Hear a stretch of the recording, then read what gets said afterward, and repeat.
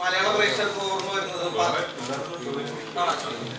പിന്നെ റൈറ്റർ എന്ന പേര് കേൾക്കാൻ നേരത്ത് മലയാളികൾക്ക് ഓർമ്മ വരുന്ന പത്മരാജൻ എം ടി ലോഹിദാസൻ ഇങ്ങനെയുള്ള പേരുകളാണ് ആദ്യം ഓർമ്മ വരുന്നത് പക്ഷെ റൈറ്റർ യൂണിയൻ ചെയ്യുന്ന ഒരു ചിത്രത്തിൽ എന്തുകൊണ്ടാണ് ഈ തട്ടുപൊളിപ്പൻ പരിവേഷം വന്നത്?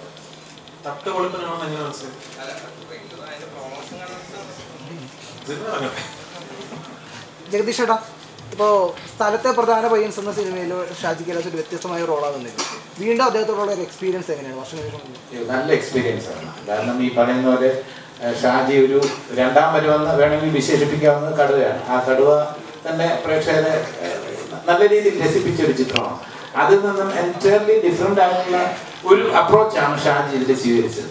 അത് ഷാജിയും ജോമോനും കൂടെ അവരുടെ ഒരു കോമ്പിനേഷൻ എന്ന് പറയുന്നത് ഓരോ സീൻ കഴിയുമ്പോഴും ഞാൻ ഈ മോണിറ്ററിൽ പോയി അത് കാണാറില്ല. ഒരു സീൻ കാണാറില്ല. പക്ഷെ രാജു ഇടയ്ക്ക് കാണാറുണ്ട്.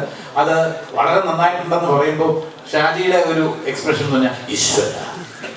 ഇതാണ് എക്സ്പ്രഷൻ ഇപ്പൊ ഷാജി അത് നല്ല രീതിയിൽ ഷാജിയുടെ അടുത്ത ഷോട്ട് എന്താണെന്നുള്ളത് ഇപ്പൊ രാജു ഒരു ഡയറക്ടറാണ് രാജുവിന് ഇഷ്ടപ്പെട്ടു അല്ലെങ്കിൽ ഇൻഫ്ലുവൻസ്ഡ് ആണെന്ന് പറയാൻ കാരണം അടുത്ത ഷോട്ട് എന്താണെന്ന് ഈ സ്ക്രിപ്റ്റ് വായിച്ചിട്ട് അത് ഷോട്ട് ഡിവിഷനോ അതൊന്നും ചെയ്യുന്നത് ഞാൻ ഇതുവരെ കണ്ടിട്ടില്ല. അടുത്ത ഷോട്ട് അതിൽ നമ്മൾ ആദ്യത്തെ ഷോട്ട് ചിലപ്പോൾ ഏറ്റവും അവസാനമായിട്ട് ഏറ്റവും അവസാനമായിരിക്കും എടുക്കുന്നത്. ആ ഷോട്ട് നമ്മുടെ മനസ്സിൽ പോലും ചിലപ്പോൾ കാണില്ല. അപ്പൊ അവസാനം ആദ്യത്തെ ഷോട്ട് എടുക്കും. അപ്പൊ ഇത്രയും മനസ്സിൽ അത് ഓർമ്മിച്ച് അതൊരു പ്രത്യേക ഒരു രീതി തന്നെയാണ്. സ്റ്റൈൽ ഓഫ് ഫങ്ഷൻ തന്നെയാണ്. അത് സ്ഥലത്തെ പ്രധാന പയ്യൻ സമയത്തുള്ള അതേ എന്തൂസിയാസം ഈ ചിത്രത്തിലും അദ്ദേഹത്തിന്റെ ഭാഗത്തു നിന്ന് ഉണ്ടായിട്ടുണ്ട്.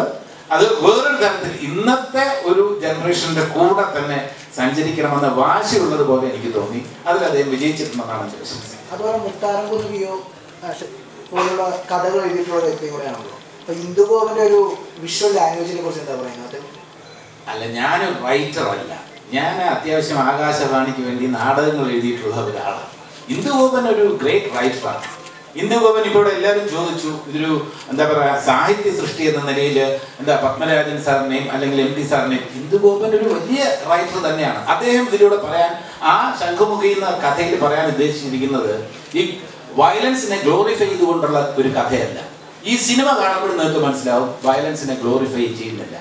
അത് തന്നെയാണ് ഇതിന്റെ ഏറ്റവും വലിയ അപ്പൊ സോഷ്യൽ ഒരു മെസ്സേജ് അടിച്ചേൽപ്പിക്കുന്ന മെസ്സേജ് അല്ല പക്ഷെ ഇതിലൂടെ വയലൻസ് നല്ലതാണെന്ന് ഒരിടത്തും പറയുന്നില്ല. അതെനിക്ക് പ്രത്യേകം ഒരു ഒരു എന്നെ അട്രാക്ട് ചെയ്ത ഒരു ഘടകമാണ്. ഒരു സോഷ്യൽ റെസ്പോൺസിബിലിറ്റി ഉള്ള ഒരു ആക്ടർ നിലയിൽ അതിനെ ഗ്ലോറിഫൈ ചെയ്ത് ഇതാണ് ശരി എന്ന് ഒരു സ്ഥലത്തും പറയുന്നില്ല.